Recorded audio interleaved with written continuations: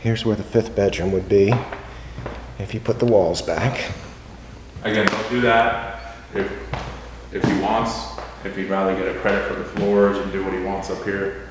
You know, they're flexible on that too. Kind of leave it up to the buyer to decide.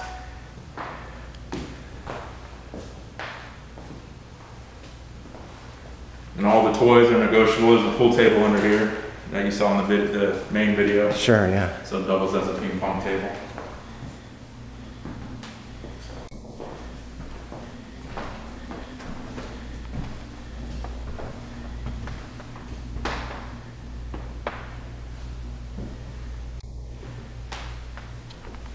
Do you want to go out here? Yeah, let's do that.